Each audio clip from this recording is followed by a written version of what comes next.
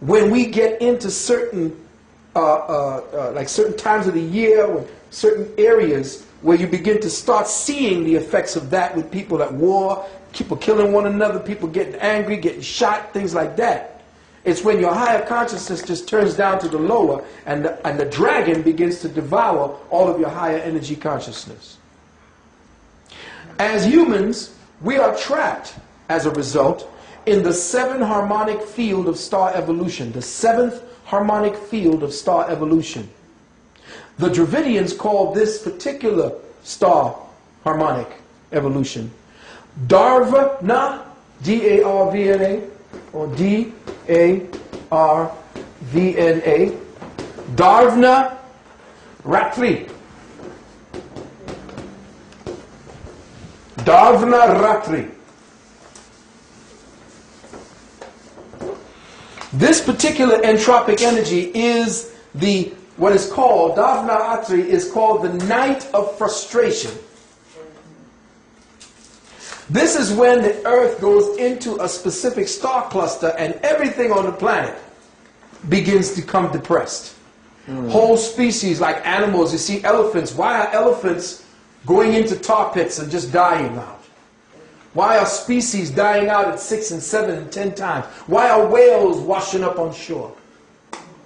They are feeling the frustration of the planet. And this Caucasoid is part of that energy frustration that we are exhibiting, that we are being feel, we are being participated in. We are participating, but we are being participated against our will. We just happen to come back at a time when everything is being flushed down the toilet. But there are some amongst us who are here who are actually seeing the days and the times, tabulating it, and are growing our soul as a result. There is no superfluous time spent if you spend it in learning, if you spend it in researching yourself, seeing who you are and could be with the next person. Mm-hmm. Because your soul is growing in light. You are energizing that field that you represent individually. So if the world were to blow up tomorrow, physically, your psycho-spiritual self, the soul energy, will have retained the experience, though you may not have retained the language. And that experience will find the language that allows it to express itself in another life. Mm, mm. So it never is lost. Mm-hmm. So when people come to you and say, live fast, die young, make a pretty corpse, that don't make no sense. That's a fool. You see. So every day that you have the chance, study and study thyself. Every morning you wake up, look in the mirror, and what do you see? to you. Because the one looking in the mirror is the student. The teacher is the reflection. And that's the secret behind how the Creator created. Mm-hmm. You see, the creator is the student. Mm-hmm. And you, by your actions and the things that you do every day, what you perceive and receive by experience, the creator receives in turn. Mm-hmm. So you have a job to do. Mm-hmm. You are the teacher of the creator. And some people say, well, how can you blaspheme? We are here to serve the creator. No. The Creator serves us so that we may be better and better, so that it may be served in return. Mm. It can't know a damn thing if it's pushing you down or telling you you damn forever in hell. Oh shit, I might as well just go ahead. You allow me to do this. If I can do everything that I want to do, why not do everything I want to do? Now you're going to damn me for it? That's the myopic thinking of a, of a, of a prisoner, prison planet mentality. Mm-hmm. And that's why our DNA is so frustrated at this time. Now, this night of frustration is the present harmonic field that traps the planetary intelligence of man so that he cannot get behind or beyond the present sevenfold nature of cycles and changes on this planet. Mm-hmm. Man is chained through his inactive DNA to Earth's geometric cycles. Let me say that again. Man is chained to his DNA through the inactive cycles. Let me, that's right to his inactive DNA. In other words, mm-hmm. the DNA that is not alive out of the six to the nine. That DNA represents what keeps him entropically chained to the physical planet. and to this reality. That's why they call it gravity. Why do they call it gravity? Because it's essentially a grave. That's what it does. It pulls you in. Life is entropic in its nature, but the spark of the Creator is what moves it forward. So man is chained through his inactive DNA to Earth's geometric magnetic cycles. There are seven days for quote unquote creation, seven years to the age of reason, seven chakras, seven year cycles for age progression of the cell, seven seconds, seven milliseconds, seven nanoseconds before the phosphene explosions occur toward the inner dimensions of the mind. In other words, at that point where you begin to know yourself, as you raise the seventh chakra, it, to, it goes into seconds, then nanoseconds, as you plunge deeper into the well that you represent, that consciousness that you call the Creator. This night of frustration is a point in human consciousness evolution where the physical ordering of the mind must come to the realization that even star evolution does not share any singular space and time indefinitely. In other words, what we're looking at as the stars above us at this time, what we're seeing presently is not and will not remain like that forever.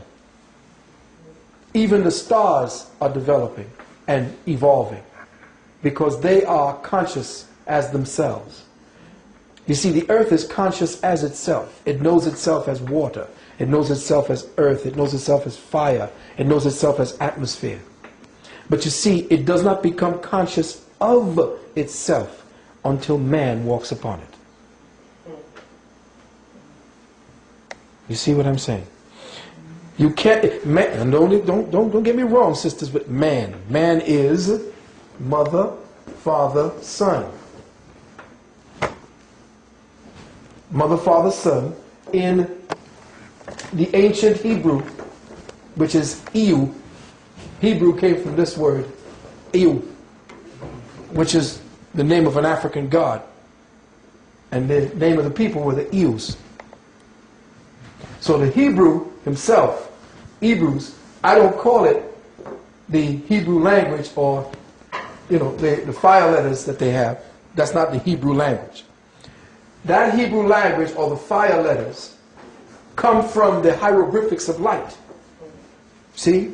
This is where it came from. So light creates fire. Fire is a condensed value of light. It is a conditioned value of light. Mm-hmm. All right? And fire being a conditioned value of light would have to extrapolate from light. So the first languaging system were hieroglyphic pictographs that were beamed in in the form of light codes that we then translated into what you see as the hieroglyphics, or what I call the Medu Neter. So the Medu Neter were the first, which means that's the light language. But I call the Hebrew language the Ku Medu, which is the fire language. Because all of the Hebrew languages are actually the representation of flames in their different, if you look at them, they're the representation of fire. All of them. It's all about the way fire dances. So the flame language, Kumadu,